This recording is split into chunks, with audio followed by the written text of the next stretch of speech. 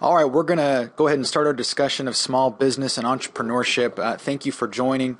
Uh, if you've been continuing to review the, the lectures and continuing to play a part in those, hopefully you've been finding the information that we go over there to be useful. Um, likely isn't going to be anything that drastically different from your textbook. Uh, that is purposely driven by the fact that I do want to make sure that the two are somewhat consistent. Although, if you have listened for a few weeks now, you're beginning to see maybe uh, maybe more of an in-depth discussion on some of the concepts that are discussed in the actual textbook. And that is by design, of course. Uh, I do want to obviously add some value, make sure to communicate things a little more succinctly, uh, but also in a much more detailed fashion to adequately prepare you when it comes time for uh, exams if you're taking this as part of a uh, credit course. Uh, so we're going to start off here by discussing small business and entrepreneurship. Very essential part uh, to not only the economy but also as business as a whole. Uh, entrepreneurship really serves as one of the most important factors of production. If you've been a part of the lecture series for the last few weeks, when we talked about economics, we discussed how countries manage the factors of production, uh, things like labor and capital uh, and entrepreneurship. And depending upon how supportive a government is to entrepreneurship, uh, that can in turn have a whole list of ramifications and effects that we're going to get into once we discuss a little bit more about entrepreneurship as well as small business. So, uh, to start us off, let's talk about uh, what is a small business. Well, you're going to get different definitions depending upon what you read. Uh, the one we're going to work with is a small business is essentially a business that is independent, meaning that it operates on its own. It also has very little influence, or relatively little influence, on the actual market. Remember, in past weeks, we've actually talked about the different types of competition and kind of a side note, that's why you do want to listen to these in succession uh, because the content tends to build upon one another. It's by design. Uh, so if you do skip a particular week, you're going to find me potentially referring to things that you're not quite familiar with. So uh, do yourself a favor, listen to them in order. Make sure you take good notes because a lot of the concepts and things are going to come up again. That's by design. Uh, so back to our discussion of small business here. Um, we mentioned that a small business is a business that is independent. Okay, it operates on its own. It's not part of a larger corporation or a series of different corporations. Has very little influence on the market, meaning that as a small business, if you decide you're going to raise prices significantly, chances are you're going to lose customers. Now, if you're in a market where you're quite of a, a large business and there are no competitors, let's say you're a monopoly, well, then you do have an influence on the market if you raise prices because obviously people cannot go to competitors if you are the only provider of a particular good or service. So these are companies that are obviously smaller on a very small scale. Now, just so you have kind of a numerical idea of what a small business entails, according to the Small Business Administration, which is the SBA, a small business has less than 500 employees. Uh, that, so that is the technical definition that the SBA actually works with. You might sit there and think, well, 500 employees actually seems like quite a bit. And, and truthfully, 500 employees or a little bit less than uh, is actually quite a bit. But by definition, that still would constitute what we refer to as a small business. So, why are small businesses important? Why do we really care about these smaller companies? Um, don't we just want to care about the bigger corporations, uh, the ones that really provide uh, all of the profits and different things? We've talked about how corporations, of course, um, but corporations can be small, of course, right? Because remember we talked about last week or in weeks past, corporations are really just a form of ownership, not an actual business idea. Uh, so, why do we care though about small business? Why is it important? You know, it was recently announced, I believe in 2011, that uh, the uh, President Barack Obama had uh, let everyone know that the uh, uh, head of the uh, SBA, the Small Business Administration, was going to be a part of the actual president's cabinet. Um, and so that just kind of shows you how important small business is. Um, it's talked about repeatedly. You hear it a lot in the news. You know, how are we going to cultivate and encourage small business? You hear a lot of talk about regulation and how we should deregulate or at least lessen the regulations imposed on certain businesses to make them more able to operate and to encourage people to start businesses without fear of having to go through all of this red tape, all of this bureaucracy. So, uh, back to I am eventually going to get to why small business is important. Uh, so, first thing job creation.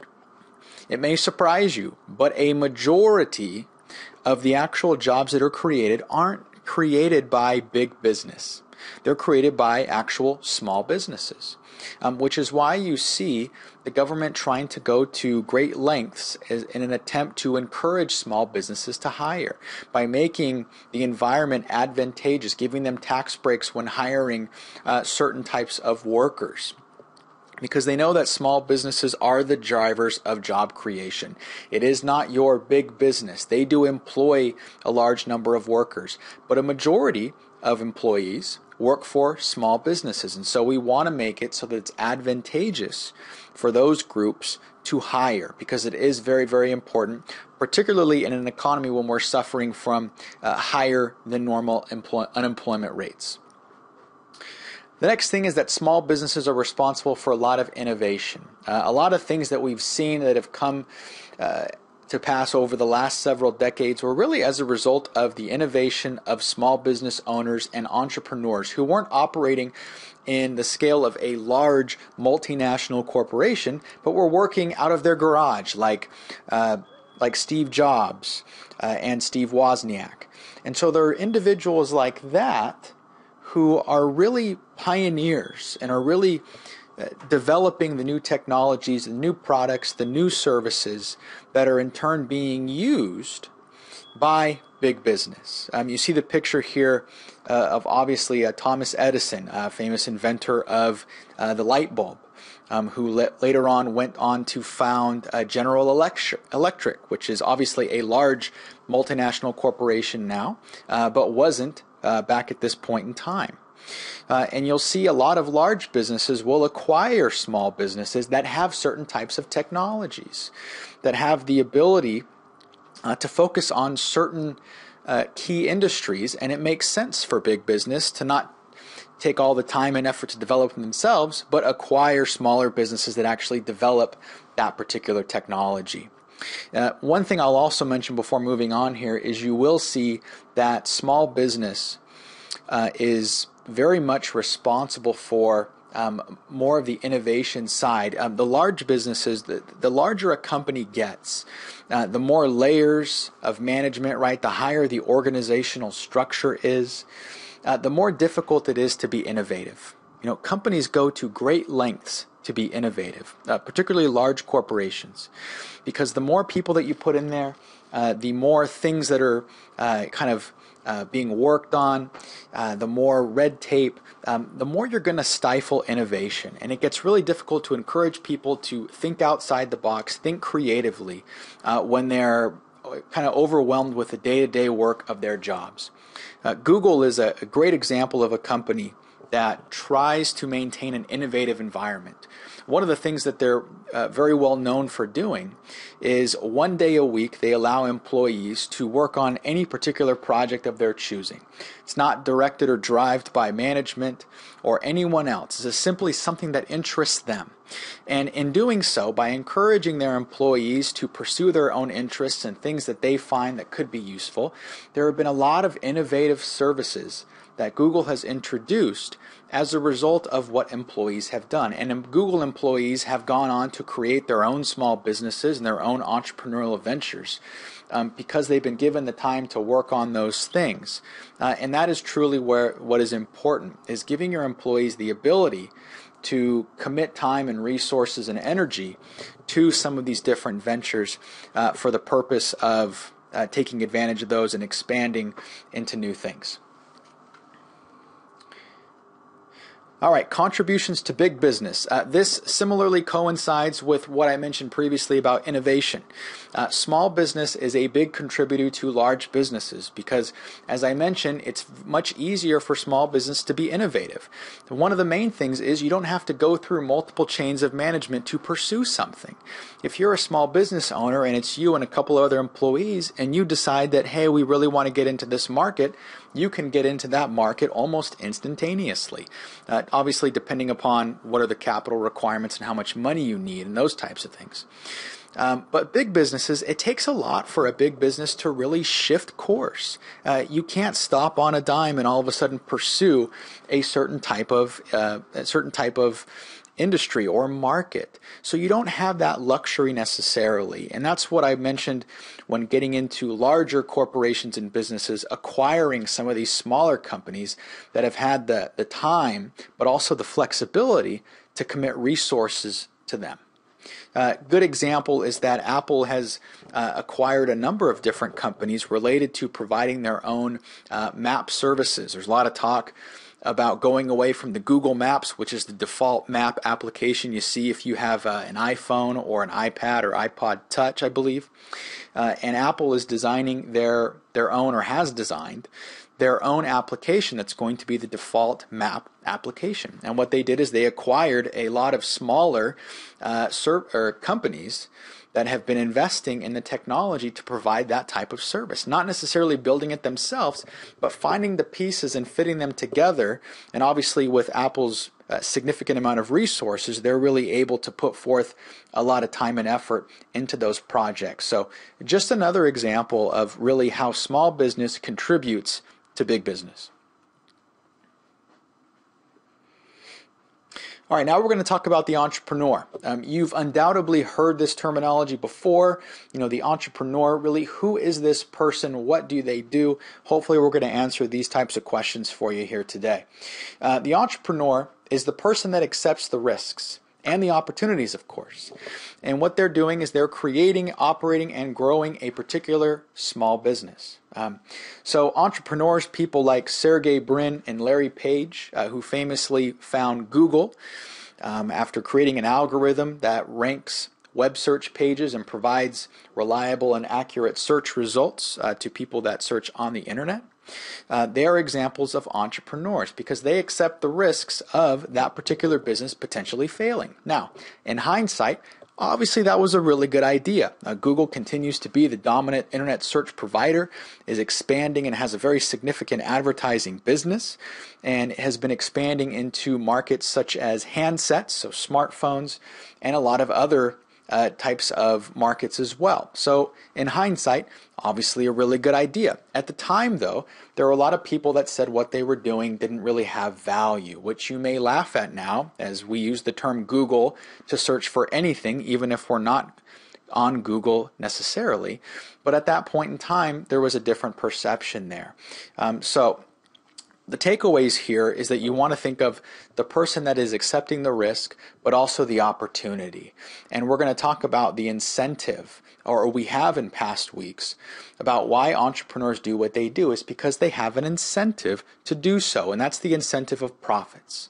And that's why in a free market system, in a mixed market economy, where people have the incentive of profits, then they're willing to accept that risk, or at least they potentially are willing to accept that particular risk.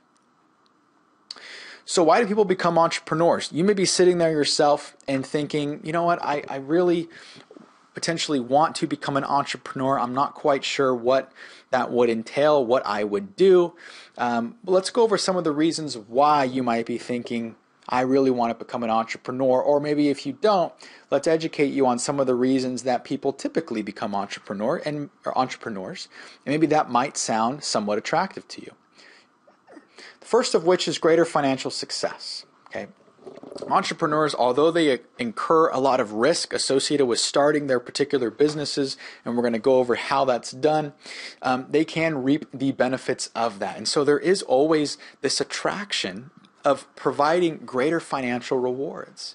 Uh, now, one thing I'll go into, and I'll mention this previously, um, on a side note, I teach a couple of entrepreneurship classes. And although this is not a course specifically in entrepreneurship, I do try to weave in some of the concepts and things from my other courses, um, just as little nuggets of information if it's something that you're interested in. Hopefully, it is. Um, but entrepreneurs, you don't need to be someone who actually quits your day job to be an entrepreneur. Um, I get a lot of people who think, I want to pursue this idea, so I'm going to quit my job and I'm going to pursue this. And, and for some people, that really works. Uh, for, for others of us who have you know responsibilities and families and children and things like that, that probably doesn't make a whole lot of sense or might not for you, uh, especially if you are the sole provider, um, as I am. And so, for myself personally, what's really worked is working late at night. Um, usually, when my wife and uh, daughter are asleep, usually I can plug away at the computer for a couple hours and work on my own things uh, and have the freedom to do that. Now, obviously, uh, my primary responsibilities during the day are teaching, uh, you know, education related meetings, all those different types of things. But I still find the time late at night to go ahead and plug away for a couple hours and pursue my own entrepreneurial ventures because I like that type of stuff. That's invigorating for me. And the idea is is that it can provide greater financial success simply outside of what it is that I'm doing, you know, during the day. Uh, and so that might be attractive to you. That might not. You might think, wow, that sounds really overwhelming. That sounds very difficult and very taxing. And truthfully, sometimes it can. But the important thing is finding what you're passionate about. Start with things that interest you because that's when it's going to be not necessarily work, but it's going to be fun and it's going to be play and you're going to be enju- or uh, you're going to be energized by the fact that you're doing that and not necessarily thinking, okay, I got to work for a couple hours and you know how draining that is, and I can think of a, uh, about seven different things I'd rather be doing. Uh, and, and, truthfully, we've all been there. You know, you don't get to ultimately where you want to be without going through a couple positions and a couple things that you don't like. And I think that's how we build a uh, uh, a, a, kind of a, a guide for what we like and we don't like. Uh, but I think it's important to note that you don't necessarily need to quit your day job to pursue something in entrepreneurship. Uh, you can do that simultaneously, of course, provide another stream of income. If anything, hopefully a passive stream of income where you don't have to necessarily do anything but maintain it and it provides another uh, source of income. Uh, I don't want to get into too much detail because we're going to get off topic, but uh, back to greater financial success, that certainly is one of the main uh, things why people pursue entrepreneurship. All right, independence. And many of you, this may resonate for. Uh, independence from the standpoint of you don't have a boss. And how cool is that? You don't have someone telling you what to do, how to do it, and when if you want to go ahead and, and you know go out to the golf course and hit a bucket of balls for a few hours, maybe relieve some stress and come back home and, and, and type for a little bit or do some things working on your individual business, you can certainly do that. And there's no one that's going to tell you otherwise, except maybe a spouse or significant other. Um, but there's not going to be anyone there demanding that you can or cannot do that, at least in the form of a supervisor. And so that's very freeing. Uh, the idea of no one's going to tell me what to do. Uh, now, some of you might sit there and think that sounds just awful. Like I need someone to tell me what to do. Uh, if that's the case, you know, maybe entrepreneurship might not be the thing for you. It certainly isn't for everyone, and that's completely okay. But others of you may be thinking, you know what, I really don't want to go to work and be told what to do. You know, I, I want to pursue my own things. I have passions, I have vision, and I really want to direct my energies to that. And that is certainly a primary reason why people enter into entrepreneurship. All right, next flexibility. Okay, there's a lot of flexibility. There's not a lot of have tos, probably a lot of shoulds, but not a lot of things that you have to do at this particular point in time. Uh, now, that flexibility, of course, you know, you need to realize that if you're an entrepreneur and you don't have a day job and you don't work, you probably don't eat either, uh, unless you're very financially blessed. But uh, there is some flexibility there. So you can decide what it is that you're pursuing. You decide how much effort to put in, how much time to put in. Um, obviously, with entrepreneurs, you know they're they're typically putting in more time at the beginning so they can reap the financial benefits later. Uh, but ultimately, that flexibility is is is key there because that's what allows you to maintain that that family and work balance where you could if you're interested in it, obviously go to you know kids uh, soccer games, baseball games, award ceremonies, and different things. You're not tied to you know a, a desk job or whatever it is that you may be doing. So flexibility, another very important factor. Uh, next, challenge. Okay, some of us love challenges. I grew up the oldest of four boys, uh, so obviously I'm very competitive by nature. You just kind of have to be. Uh, and so I love a good challenge, and it may seem daunting at first. Uh, there, there may be signs that I shouldn't maybe go that route specifically, uh, but certainly the challenge is the fun part. Uh, the end result, uh, the financial stability, uh, the additional income, those types of things, those are great. Uh, but the challenge, the pursuit in itself, is sometimes enough of a, a, reason for people to enter into entrepreneurship. And so that would be another key reason, and definitely one for myself too, to, to look yourself in the mirror and to say that I created something, I did something, is very, very powerful. All right, and next, uh, survival. Uh, notice if you've seen the movie The Grey with uh, uh, with Liam Neeson, this is a clip from that, or at least an image from that. I won't go ahead and spoil the movie for you. You can watch it on your own if you're interested. But uh, there are a lot of people that enter into entrepreneurship really out of necessity, uh, meaning that they have been laid off. They can't find jobs. You know, unemployment is well over 8%. And you know that results in a lot of people being out of work that's the effect and so a lot of people are turning to entrepreneurship um, because they're they really don't have anything else to turn to they've been you know uh, beating the pavement and, and looking for jobs and really can't find anything. And maybe you find yourself in that position okay? And maybe it's something where you may have a calling to pursue something in entrepreneurship. Maybe you have a passion that you're interested in pursuing. Survival is another reason why people start their own businesses. All right, so let's look at the characteristics of an entrepreneur. Maybe you've gone through those couple of different variables or factors I've listed and why people start uh, getting interested in entrepreneurship, and you thought, you know what, I kind of like that. Not having a boss sounds pretty cool. The flexibility sounds good. I really want to make some more money. Maybe that's not your primary driver, but you know, sell, or there are very few of us that would probably say no to a little bit more money. So that could be something good what are the characteristics of an entrepreneur? How do you uh, delineate between someone who is very good or is is is kind of the model of an entrepreneur versus someone who maybe shouldn't? Uh, usually in my entrepreneurship classes, I provide a very lengthy self assessment, which is a uh, about 15, 16 page questionnaire. Uh, not graded, of course, because I really don't care how people answer, but it's just designed to ask you thought provoking questions where you can sit and really assess if that's something that you should do. You know, assessing your risk levels and things like that, and having upfront conversations so that you know who you are and you have a good picture of that before you get into something uh, that you don't necessarily know the answer to. Uh, but let's look at some of the characteristics of an entrepreneur. We're not going to go through the questionnaire, of course, that would take far too much time, and you probably don't want to do that anyway.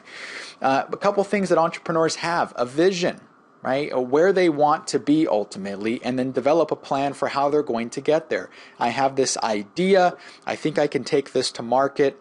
Uh, this is how I'm going to do that. Okay? They have energy. You need to have a lot of energy. You have to be a self starter. No one's going to tell you to get up out of bed. No one's going to tell you to start working on your business. You have to have the drive and the self determination to do it yourself. Next, it helps, although not requirement, but it helps if you have a little bit of a tolerance, the more the better, for uncertainty. Okay? If you don't, then obviously venturing out on your own where there are a lot of unknowns, a lot of uncertainties, uh, can be a, a very anxiety provoking, uh, particularly for any of uh, you that might struggle with anxiety a little bit. It will not help.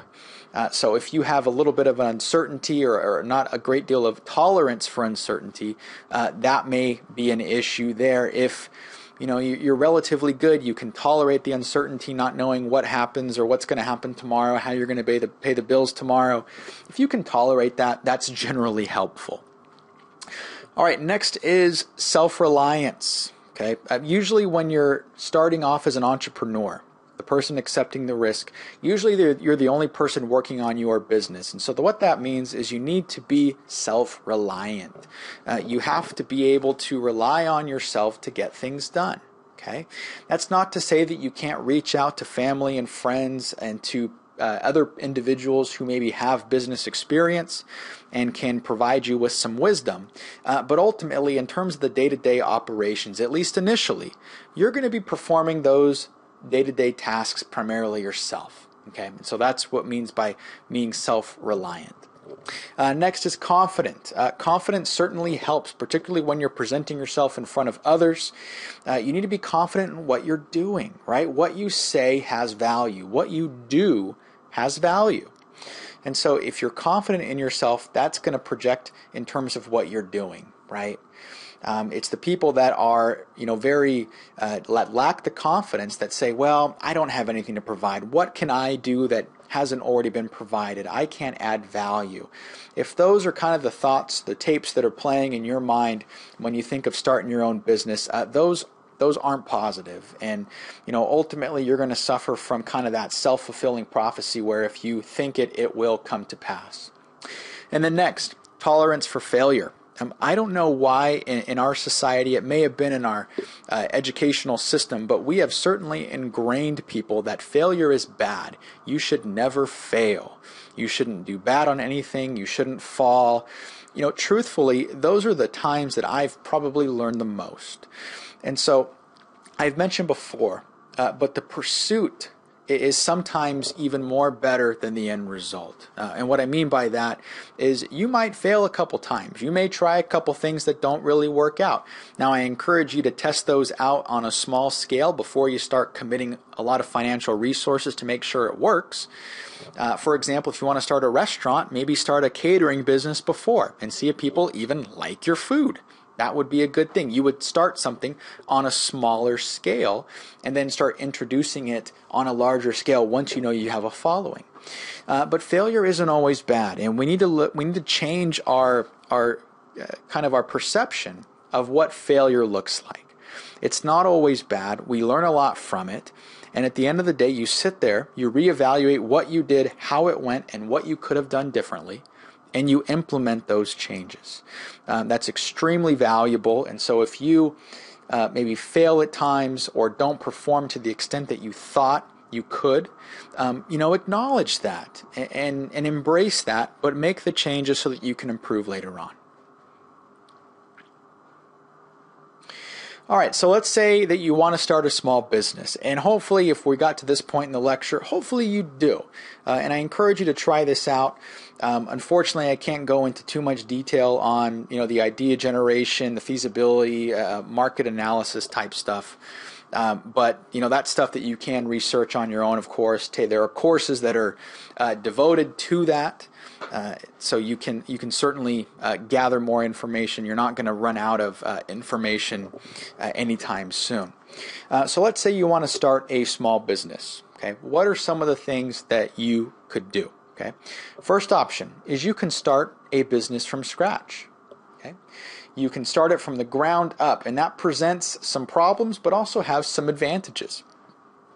So, let's say you want to start a business from scratch. Well, one of the significant benefits is you don't have the existing business problems, okay? You don't have to worry about uh, how the prior owner of the company you know, made a bunch of, uh, you know, customers mad and all those other things, or you don't have to worry about a pending lawsuit for a company that you purchase. You know, everything starts with you. And so you start with a clean slate. Um, so all the existing business problems and issues and problems with your brand that people have um, aren't going to be existing at that point in time. They're not present, which is a definite advantage. Uh, one of the disadvantages of starting uh, a business from scratch is that you have a higher risk of failure. Uh, statistically speaking, you have a higher risk of failure. Now, there are things you can do to minimize that risk, things like a business plan, working through the financials, making sure you have a market for your particular product or service. So, there are certainly things that we can teach you to help minimize that risk. Um, but they do have a higher risk as a whole in comparison to the other ways of starting a business. So that's one thing to consider. Shouldn't be a deterrent from you from starting a business from scratch if you want to, but at least something to recognize so that you do your due diligence and make sure that you're you know dotting your i's and crossing your t's. All right, next, uh, and this you know may be a matter of an opinion on my part. I'm sure people share my opinion here, but there's a greater sense of accomplishment, right? Um, to take something from nothing and to build it into something that's successful. Um, there is no greater sense of accomplishment there. Uh, and for, for those of us that have been there, uh, that can be extremely uh, rewarding of an experience. Um, but you'll find once you've done it before, you can typically replicate it. Right, you have your serial entrepreneurs, people that love to to start new businesses and then pass them off to somebody to run, and just love to start uh, different things. Uh, friend of mine probably has you know nine to, to ten businesses that he has started has no interest in running the day to day but just wants to start them, hand them off to someone else to run them, and then he can obviously collect some of that profit there at the end.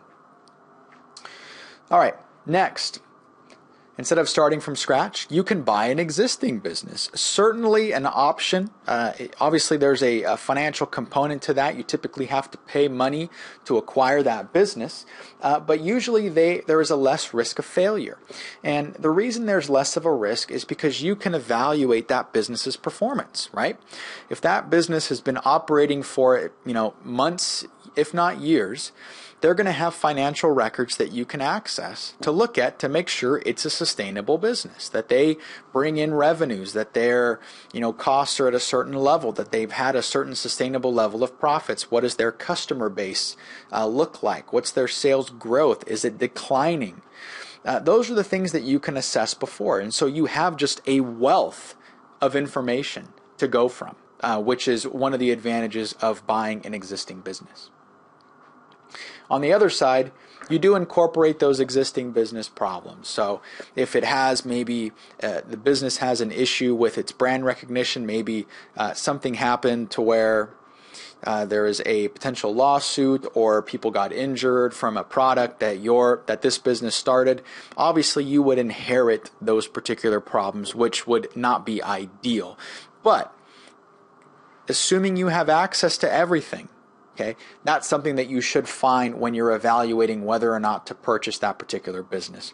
Uh, one other thing I will mention before is you will typically have to commit financial resources to that particular business. Okay, meaning that you're going to have to pay for them, right? If somebody's going to sell you their business, they're not going to give it away. You're going to have to acquire that business, which means you're going to have to have money, cash on hand, or some type of resources to ending up completing that exchange.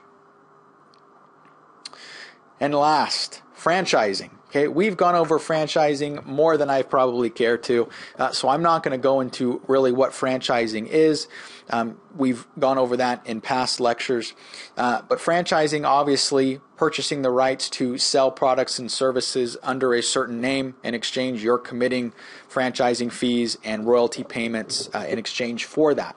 Uh, franchising is great because it's a proven business opportunity. We know it works. Okay, if you decide to purchase or buy into a McDonald's franchise and you go through all the, the rigorous hoops and different things, and so McDonald's, they approve you, um, obviously McDonald's has done fairly well. Okay, uh, and so that's a proven business opportunity. You have instant brand recognition. People know who you are, what you do, what your products taste like, and all those other things. You don't have to commit all of the resources into educating consumers what it is that you do. Uh, so, a proven business opportunity certainly beneficial. You also have access to management expertise. Uh, with McDonald's, we talked about the education program, the training program that they put all of their franchisees through, right? Hamburger University, I believe it's still referred to. Uh, and so having access to the expertise of those individuals is only going to help you. Um, you have a lot of resources, people to tell you how to do certain things. There's a vast network of franchisees uh, that you can coordinate with for best practices and find out how to do certain things. Uh, and so that is beneficial, and that's only going to help you operate your business. Obvious disadvantage would be the startup costs and royalty payments. Okay, we've talked about those at great length.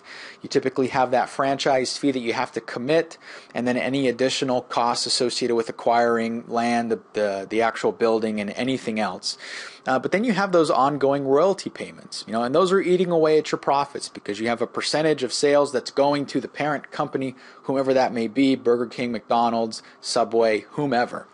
Uh, but you also have management restrictions, you know, and with a business that you are acquiring or you're starting from scratch, you have very high flexibility. You know, you can take it any direction you choose. You can market your business the way that you want to.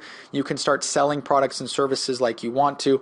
With a franchise, you have a lot of restrictions. Okay, you have to go by what they say. Okay, you can't introduce a new product because you think it's going to work.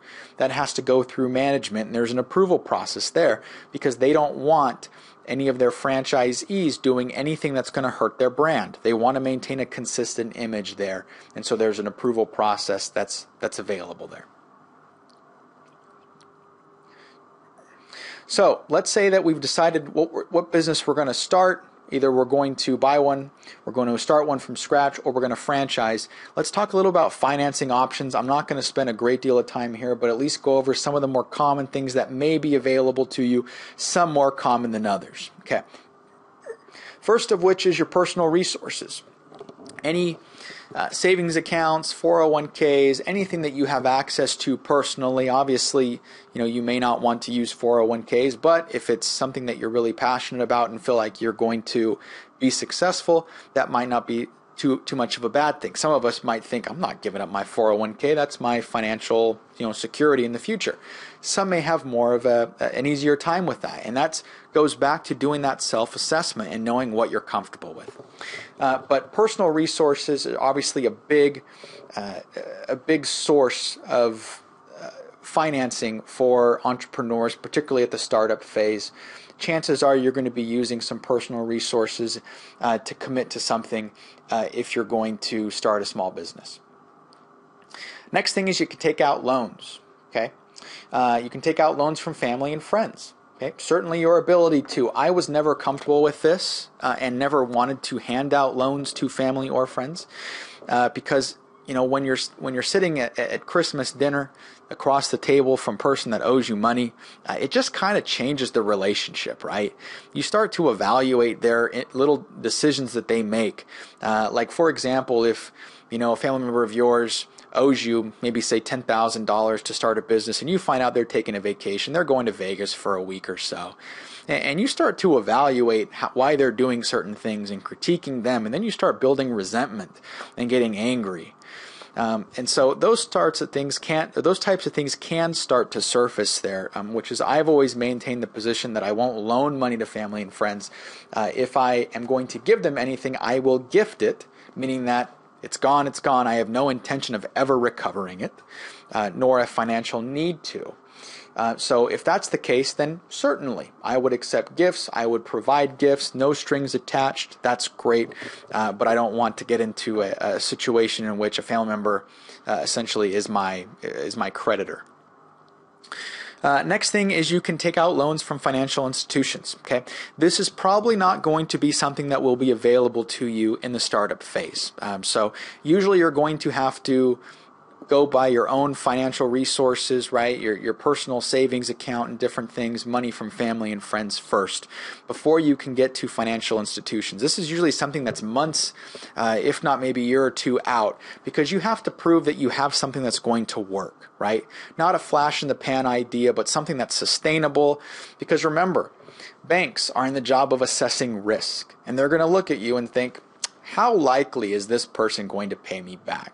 And they're going to look at your idea, they're going to look at the financial statements that you provided, your market analysis, and all those other things, your entire business plan, and they make a decision on you and how likely are you with this idea going to be able to repay them. And I can tell you that financial institutions do not primarily finance small businesses. Okay, um, usually you have to operate for a little while, prove that you can actually operate before you get into uh, taking out loans for banks and those types of things. All right, next you have venture capitalists. Uh, Heritage, a uh, popular venture capitalist. And venture capitalists uh, essentially are venture capitalist uh, enterprises or firms, if you will. Uh, what this involves is you have a, an actual company which is the venture capital firm, and they have a number of investors. And so they basically, you can approach them, pitch an idea, they will in turn run it by investors and seek money to invest in your company. Okay, uh, so these are people that are typically wanting to invest in exchange for ownership, right? They want a percentage, they want a piece of the pie, they want a piece of your business because they know if they have 50 or 51% ownership, that they can overrule you and they can decide what happens. Okay, um, you might as well forget about this in the early stages. Uh, venture capital money is very, very uncommon in the early, early stages. Uh, typically, this is for companies that have been around for a while, have operated, have something that could potentially boom into a, a very, very successful business. And obviously, people want to get on board because it's going to have a great return on investment. And next, you have angels, angel investors, okay, actual wealthy individuals who are looking for a good return on their investment, okay? They're not necessarily happy with what's getting paid by their savings account, probably a, quarter to a half a percent if they're lucky. They really want to invest in startups that potentially can make it big. Corporations or, or businesses, mind you, that can potentially return 30, 40% uh, on their investment. Okay, and so these individuals can be a source of income or a source of financing, although once again, not necessarily that common early on. All right, there are a number of different financing resources that we haven't gone into. Uh, some SBA backed loans, which are backed by the Small Business Administration and those types of things. Um, those, I believe, are referred to in the textbook, so feel free and read up on those and just get kind of an idea of what they are, although you can probably deduce that simply from the name. All right, uh, last thing we'll get into here opportunities and threats for small business. Okay. Nothing's more threatening than a honey badger, as you can see. Uh, there are a lot of threats that are uh, confront small business. Okay, and obviously we've went over they have a higher risk of failure. Okay, that goes without saying, of course, uh, and so we know from the statistics that that certainly is true. Uh, that should not be a deterrent from you you know, writing a business plan, doing the market analysis, and finding out if you have something that's worth pursuing. Um, you might even do the research and find out, you know what, this isn't a good idea. And that's okay because you saved yourself a lot of headaches later on. Uh, you have a lack of knowledge and experience. Typically, people that start small businesses usually start because they suffer what is referred to as an entrepreneurial seizure. Okay, and that's a, a term that's used in E-Myth, which was written by Michael Gerber. A great book if you're interested in kind of brushing up on some entrepreneurship terminology and things talks a lot about franchising, but uh, what the entrepreneurial seizure is, it's the person that has a technical type job, plumber, construction worker, whatever, uh, and is just sick and tired of following the orders of somebody else, thinks, you know what, I can do the job better than they can, so I'm going to start my own plumbing business. But they haven't considered all of the business side of things, right? The accounting, the bookkeeping, the finances, the marketing uh, how to run an actual successful business. There are a lot of things that are entailed simply beyond the technical side of it. And so that lack of knowledge and experience is a significant threat to small businesses and a primary driver uh, on why they fail. Uh, probably the most significant driver of why businesses fail is they have too little money, right? Your cash dries up. You can no longer continue to operate the business. Okay. Uh, next, bigger regulatory burdens. Okay, you have to consider things like workers' compensation and Social Security, disability insurance, all those other things that you did not have to consider before you started having employees and running an actual business. Okay, uh, certain environmental regulations potentially. So there is bigger regulatory burdens for small businesses potentially because you don't have a significant amount of sales to absorb those just yet, like larger corporations do. Uh, another threat is you have higher insurance costs. Okay. If you have a handful of employees, chances are you're going to pay more money for insurance because you're buying things on a smaller scale, right? That's how large companies get discounts because I'm buying policies for 20,000 employees, so I'm going to get some group discounts, of course, just from purchasing on a mass scale. Well, as a small business owner, you would not be so lucky to obtain those same benefits. Opportunities. Okay, it's not all bad, never is. Uh, you can explore some market niches. Okay, you can explore something that isn't a, a large company isn't interested in. Right, large companies are going to stick to things that are big. Right, how can I make the most money? Where are the most people in? Those are larger markets. They're not going to go for the smaller markets. Right, the specialty type markets. Uh, I know a a story of a, a, young woman, probably in her mid 20s, out in New York, who um, was very fluent in Spanish and French and um, wanted to do, uh, start a babysitting service. Okay, uh, but she did so uh, not necessarily from a standpoint I'm just going to watch your kids and watch your TV and eat your food, but she she coupled that with a passion she had for music and also for foreign languages. And what she does is it's almost an educational type environment where she will watch your kids, right? Make sure that they're safe when you're at work or at the grocery store or on date night or whatever. Um, but also, she plays guitar and sings, and in the process, helps children learn different languages, whether it's French, I believe she might do Mandarin, uh, and, and as well as Spanish. And so that's an example of a, a niche market, right? Because you're not going to see uh, Walmarts and large corporations think, hey, you know what, we got to go after this uh, music education foreign language market, right? It's so specific that they really don't care. But it's an opportunity that you could explore uh, because you have the resources to, and it's specific enough where it's taking advantage of your passions and your talent and those types of things. Another opportunities for small businesses is to, to, explore personal customer service, right? We've all had experiences from large corporations where they really just don't care because the person that's helping you uh, does not see any type of profit from the sale, doesn't see any benefit from doing so. But small businesses, their livelihood relies upon how they interact with customers. And so typically you're going to get a lot more personal service from small businesses because they want to make you repeat customers. They have more skin in the game because their livelihood depends upon that. And if you're a small business owner, you can certainly add some personal touches to your business, whatever that entails, and provide additional services and things for free just to communicate that you value your customers. Uh, next, small business owners typically have lower overhead costs. And what that means is you're typically not paying a lot of leases, rent, and all those other things uh, to have large retail establishments, let's say like a Best Buy, for example, that obviously has to pay for the leasing space for their very, very large stores, uh, has to heat and cool those, has to pay insurance, and all those other things. Those are things that you can bypass, right? We know that we can start a, a simple internet business for next to nothing.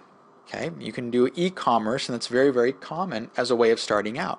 And so you can take advantage of those lower overhead costs as a way to increase your profit margins and increase your chances of being successful. Um, I always recommend trying things out on a smaller scale. Right? Don't start and open up a, a, a store or restaurant with, without having a proven business opportunity, uh, unless you can commit just some smaller resources. Because I've always said that you want to fail early if you're going to fail. Okay, you don't want to try a small business for five years and realize it's not a good idea. You'd want to fail within the first couple months so you can move on to something bigger and better. Next opportunity that small businesses have is to leverage technology. You can do a lot of things uh, from your home with technology, with a, a personal computer, some software, uh, and, and, just some, some pure grit and know how and determination. Uh, so technology has made it so that you can now uh, start a, a, worldwide internet business overnight if you wanted to, and they've made it so that it's much easier to. So take advantage of the resources. It's uh, although you you see a lot of businesses out there, it has never been easier to start one.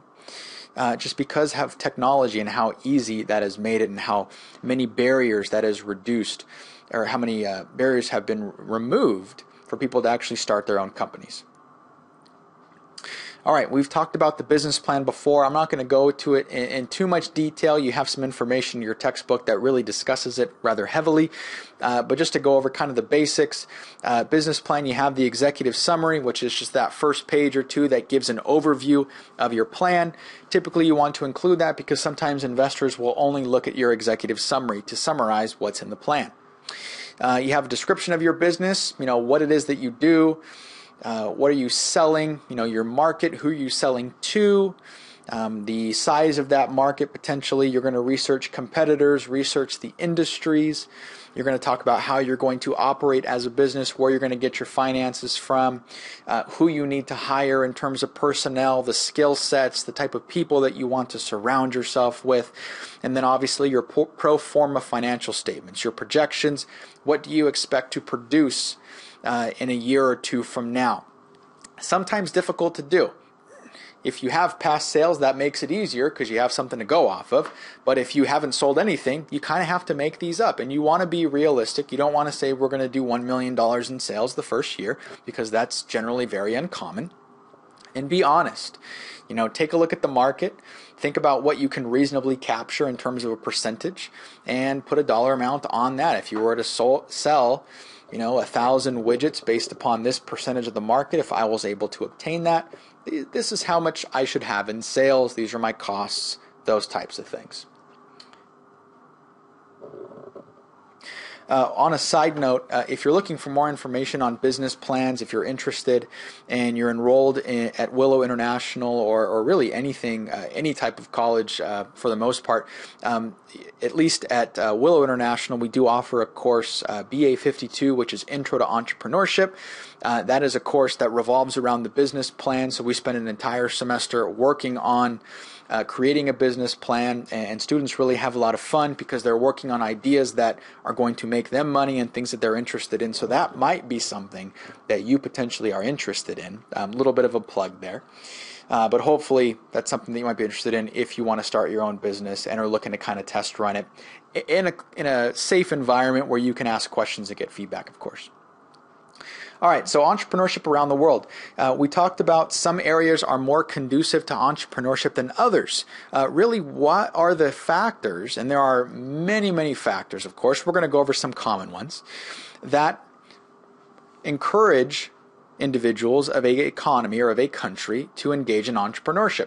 First thing is your per capita income. Uh, what you will find is that if the per capita income in a country is low, meaning that the amount of money that is made per person, not just working individual, but per person, so children are generally counted in this statistic, if it's very low, the tendency for entrepreneurship or the prevalence of entrepreneurship usually is higher because we've discussed entrepreneurship out of necessity. People need to find a way to get more income to raise their standard of living.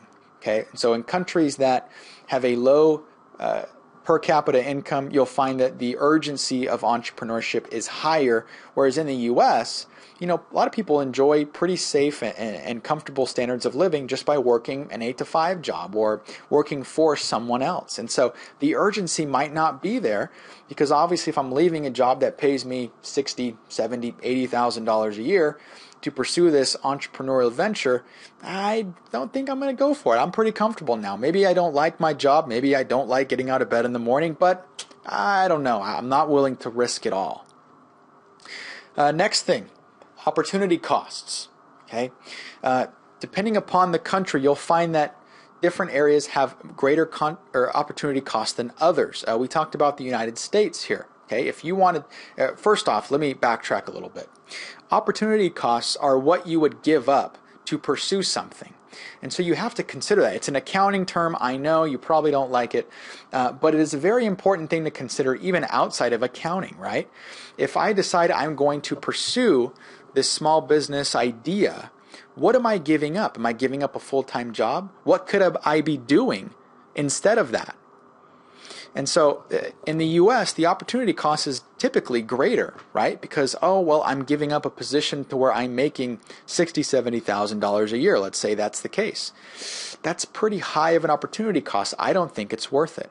But if you are in a low income country where you're making $10,000 a year, wow, that's not a really high opportunity cost. I probably would would go ahead and start or go through with my small business idea because it's not like I'm missing out a whole on a whole lot. So that's the idea of an opportunity cost. It's what you have to give up to obtain something else. I'll give you another example that might resonate more soundly with you uh, is in terms of studying. You know, I, I, I, tell this to my students consistently in class, uh, and it's, you know, the courses that I typically teach, um, require some hard work and determination to, to continually study. But that presents an opportunity cost, meaning that if you study for my exams, then you cannot, uh, well, look at social media. You can't go to the movie with friend or go to the uh, a movie with friends. You cannot work. Those are your opportunity costs. Those are things that you're giving up. And if in your mind the opportunity cost is too high, meaning that you don't feel that there's going to be a significant value in studying, then you're not going to give up those things to pursue studying. Okay? Hopefully you do, uh, but that's just one example. All right, next, the culture and political environment. Okay, uh, certain countries are also more supportive of small business and entrepreneurship than others. Uh, typically, although some would argue to the contrary, uh, relatively speaking, the United States is generally very supportive, although we have s- suffered from some uh, greater regulation as of late. Uh, but in comparison to other countries, we're still generally pretty good. Uh, and so we encourage entrepreneurship. We try to make sure that financing is available for people that want to start small businesses. We try to make sure that there are educational resources available to people who want to start small businesses. Things like the SBA, the Small Business Administration, uh, and other countless uh, organizations that are supposed to encourage small businesses. Uh, and so, if the country is not encouraging small businesses, not making avenues for them to pursue different entrepreneurial ventures, then obviously entrepreneurship is going to suffer as a result. All right, that concludes uh, our lecture here on small business and entrepreneurship. If you do have any questions, please do let me don't don't don't hesitate to email me either if you're interested in maybe some resources, finding a little bit more about certain things. Maybe you're interested in, in courses where we cover the business plan in greater detail. Be happy to help you in any way that I can. Uh, thank you so much for listening. Have a great week, and we'll see you next time.